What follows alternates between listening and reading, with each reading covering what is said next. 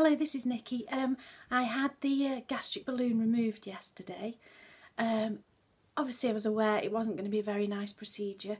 The staff were lovely. Uh, Mr. Riera, the surgeon, fantastic chap, and all the nurses were terrific. They were so kind and lovely. Um, so I was sedated, uh, exactly the same as uh, when the balloon was placed. Um, this time the sedation seemed stronger and I think it's because there's less of me to um, sedate. Anyway, um, the only thing I suffered with afterwards was a bit of a sore throat, um, and I do remember the removal of it, but uh, it had to be done.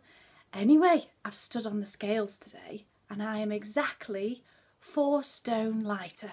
So there you go, it works. So all the best. If anybody ever needs to get in contact to ask me anything about the balloon procedure, if you're considering having it done, please um, please do.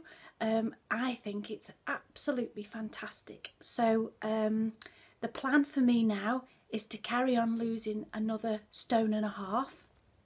Um, I'm going skiing with my children and husband in five weeks' time, and I want to lose another six pounds then. So I might keep you posted on on that one. So the plan is just carry on do exactly what I've learned with the balloon in place, and that's just eat smaller portions and wait and listen to your body and know when you're full. Uh, and that's it, really. Um, all the best. Bye.